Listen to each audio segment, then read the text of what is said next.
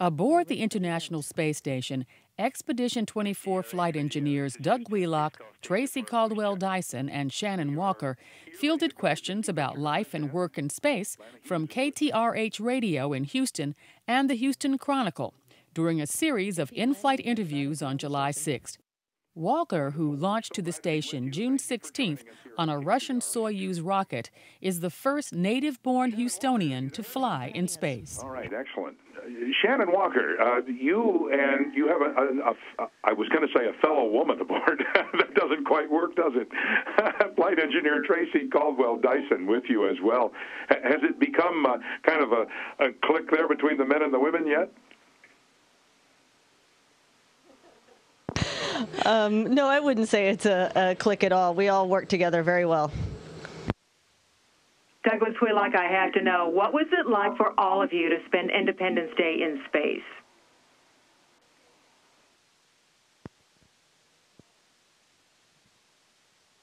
Well, it, it, was a it was really a great treat. Uh, of course, it was a, it was a busy day for us because it was the day that our Progress resupply uh, ship docked uh, that day on their uh, second attempt, and so it was a it was a great day for us and very successful day, and it was um, it was uh, actually very nostalgic for me. It was uh, we got to spend some time with our Russian uh, partners and uh, just celebrating our, our independence in the U.S. and and um, they were they celebrated with us, and it was it was quite a quite an awesome moment to look down uh, on our world and, and understand that uh, we have no borders from this uh, vantage point, and uh, it was uh, just a great uh, day of celebration.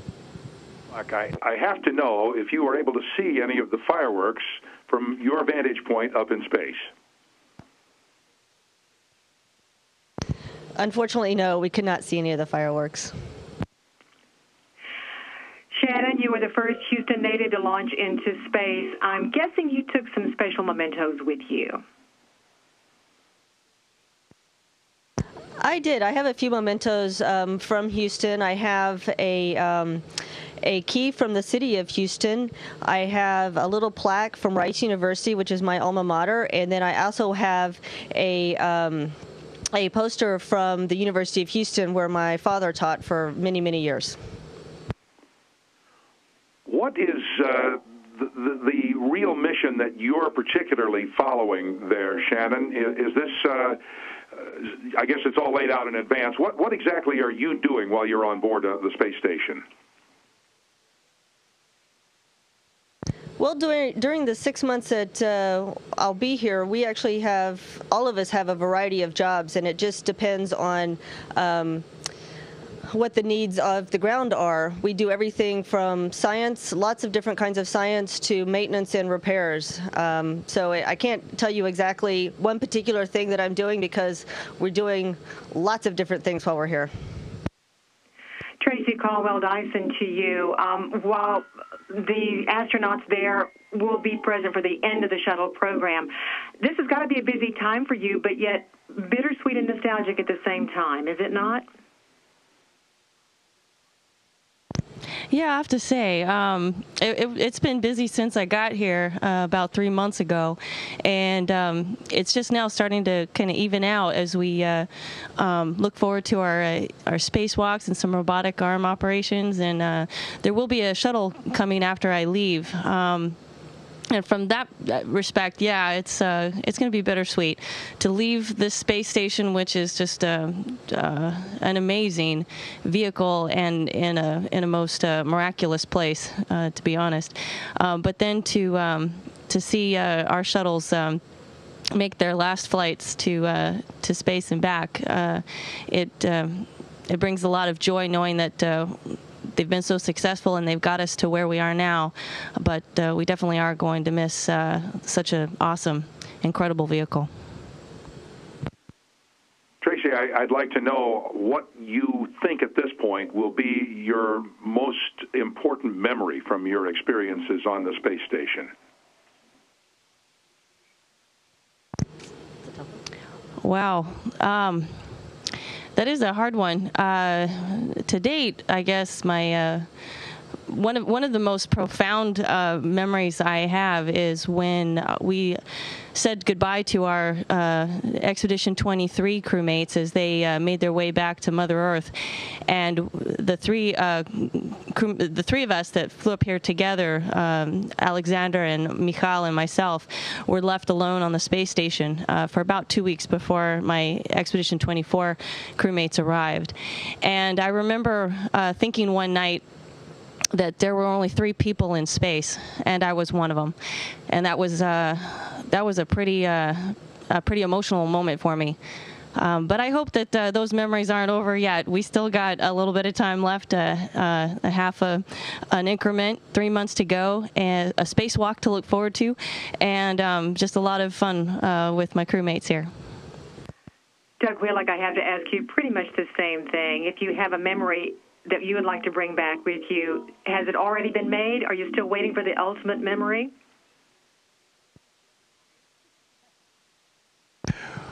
Well, uh, uh, there are surprises that wait around each corner while you're here in space, and so uh, uh we had one of those this weekend, and when we had to uh, try again uh, to redock this vehicle, and so. Um, each day is is sort of magical in itself up here. Um, from the the subsystems on the space station to uh, visiting vehicles and things, and doing a spacewalk has its own challenges and its own uh, uh, real personal memories uh, as we get to experience that next month.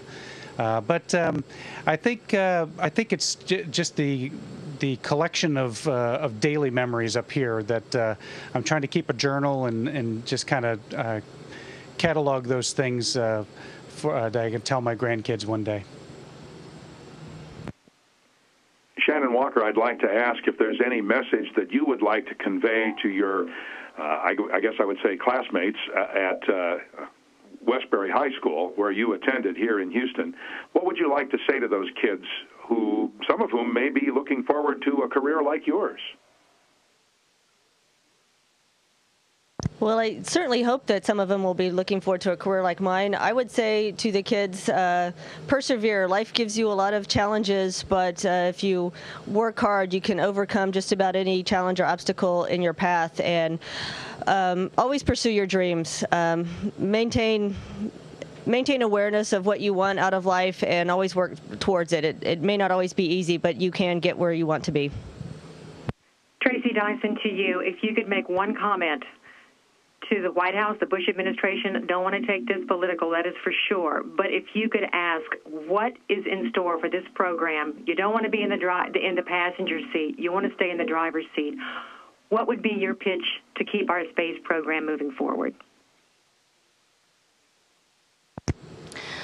Oh, to put it in a nutshell, I, I mean, look at look at what we've done, uh, and I'm not just talking about we NASA. I'm talking about uh, we as a, a world. We um, we're a collective country. Um, we have put men on the moon. We have um, we have brought things back to Earth uh, as a result of developing technologies to get us here into space. We've built this incredible space station, and it wasn't alone. We did it with our uh, partner nations, uh, Russia, Japan, uh, Europe, all over the world, and we've brought them together here in space. We assembled this this incredible vehicle in space, and um, gosh, if that isn't worth continuing, um, then I don't know what is.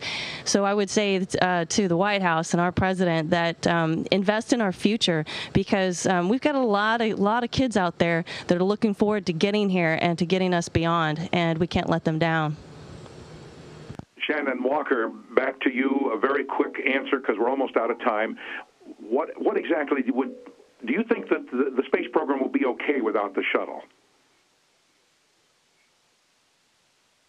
I think the space program will have uh, different challenges without the shuttle. We've certainly lost um, uh, a capability, at least in the short term, to um, haul large amounts of cargo, massive amounts of cargo into space, and we've lost the capability to bring lots of hardware home. And that's going to present different challenges for us to maintain and, and work on the space station. To Tracy Caldwell Dyson, Shannon Walker, Doug Wheelock, thank you so much for taking the time to talk with us and safe journey. Thank you very much. Station, this is Houston ACR that concludes the KTRH portion of the event. Please stand by for a voice check from the Houston Chronicle. Station, this is the Houston Chronicle. How do you hear me? We hear you loud and clear on the station. Well, great. Good morning. Um, I guess, uh, first of all, uh, question for Shannon. Maybe talk about your feelings when you first reached the station. Were you relieved to be out of the Soyuz capsule, or was it were there other feelings going through your mind? Oh, there were a lot of feelings going through my mind. I was um, very excited to be on the station after having uh, worked on the ground for so many years, watching uh, the station being assembled and, and working to maintain it and, and get it up and running. It was just so incredibly exciting to actually be here to live on it. Um, the Soyuz is a wonderful spacecraft, but it is small, so it was nice to have a little bit more space to move around in. And, and Doug, I guess it's been almost three years since you were last at the station. How has it changed since then? It, the the changes have been incredible. We um, on STS 120 back in 2007, we brought up the Node 2, and so I was thinking about it the other day, and we were actually docked on the uh, shuttle Discovery to the front the front end of the lab at that time, and now there's so there's so much usable uh, volume uh, in laboratories forward of the lab now that it's just the uh, the U.S. segment has literally doubled in size or even gr- even greater, and so um, it's a tremendous uh, uh, it's a tremendous vehicle, and it's uh, it looks so much different as we're approaching it now, as I approached it back three years ago. All the solar arrays are installed now now, and um, it's a fantastic flying machine. And and Tracy, maybe talk a little bit about what it's like to have another woman on the station at the same time. It's awesome. no, no, it is nice because now I'm not the only one that uh, gets uh, the finger pointed at them when there's long hair stuck in someone's food or in their face. It, no, it's a delight to have Shannon up here and to uh, uh to we're, we're, kindred spirits, and we're not really sure if that's because we're both female or just because we're a lot alike. But um, uh, it is nice and uh, a pleasant change to to have a lady on board with me. Yeah. Hey, so it's already been an active Atlantic hurricane season down here. Did anyone, uh, perchance, see Hurricane Alex from space?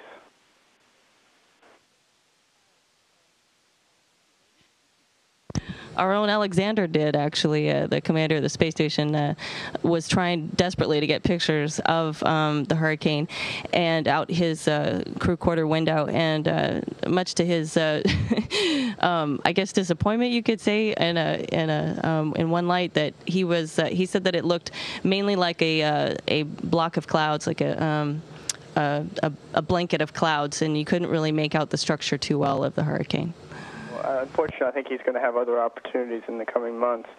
Um, what about the oil spill? Have any of you seen that from space, and, and how does that going to make you feel?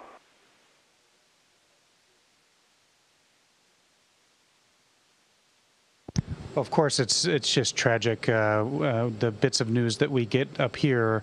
I was able to look out uh, yesterday, and uh, out of the service module windows in the Russian segment, and we saw a little bit of the. Um, of the oil from uh, stretching from uh, New Orleans over to the um, to the western coast of well Alabama, the Gulf Shores area, and. Um, just tragic. And, and, and, another day, I saw some of the fires that were burning, uh, that they had burning off some of the oil uh, in the middle of the Gulf. Uh, I saw that as well. And um, just tragic. And we hope and pray that we're able to get, a, get the leak stopped. Shannon, your the blog you've been writing has been uh, has, there's been a lot of really good response to that from readers. So thank you for doing that. I, I wanted to ask you what it's like to uh, access the internet from space. Is that challenging? You know, that's kind of funny you ask. Um, it is a little bit challenging, and to be honest, to date, I have not um, done that yet. It takes a, quite a bit of time to access the internet, and our connection to the ground is is definitely not a broadband connection. So, um, because I'm so busy during the day, I have not um, had the opportunity to access the internet. But it's good to hear that people are enjoying the blog, and I will I will definitely keep writing. Uh, thank you. Tracy, I wanted to ask you sort of about as the, the construction winds up and, and you really sort of get into operational phase with the, the space station, maybe talk a little bit about uh, maybe one of the scientific experiments that you're working on or that you're familiar with that, that you think is, is interesting and has some potential for some interesting results? Well, I have to say that um, there's a lot of interesting science going on up here, and uh, right now we're, we're, all involved in in uh, certain aspects of. Um, the human research and development, we um, uh, are taking um, blood and urine samples um, based off of a um, nutritional study that we're doing to help understand the effects of um, potassium on uh, bone loss.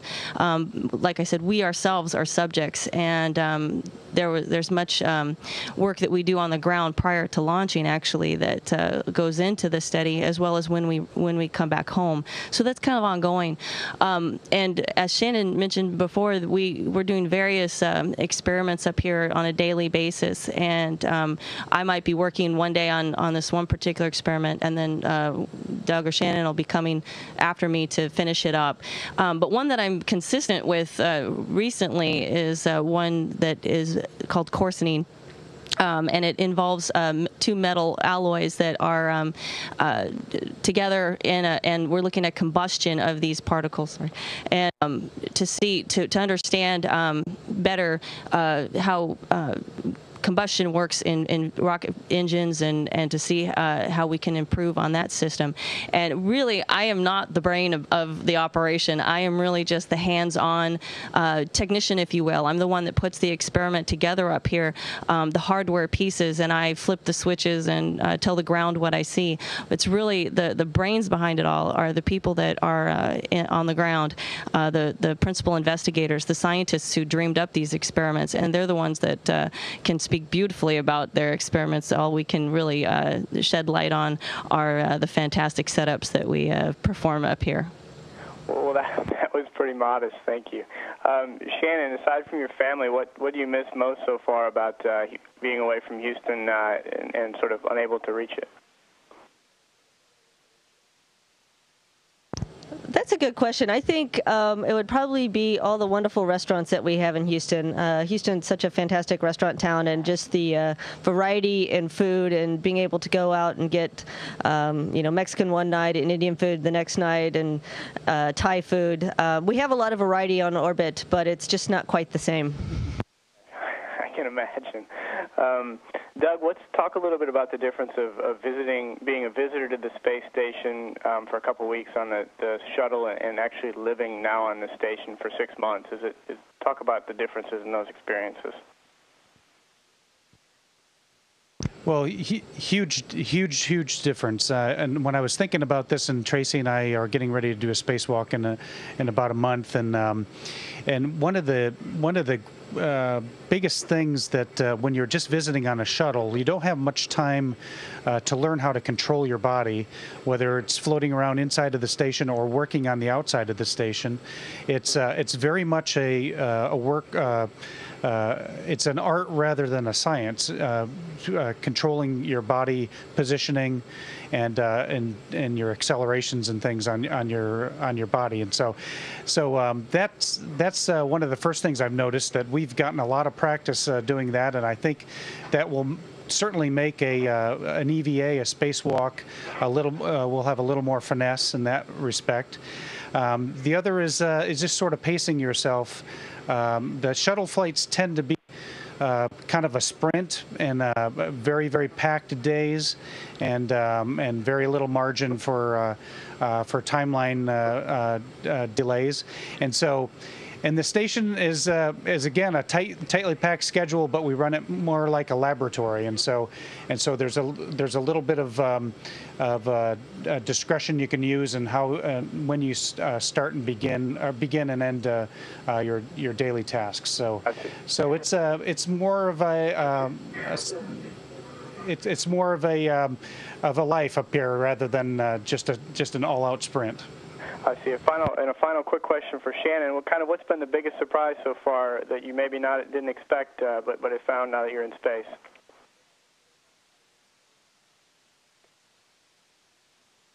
That's a good question. I'm not sure I really have an answer for you. Um, every day brings new surprises and new challenges, but uh, nothing really stands out. It's just the wonder of learning how to to live in space.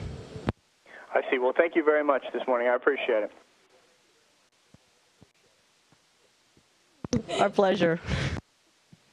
Station, this is Houston ACR. That concludes the event. Thank you.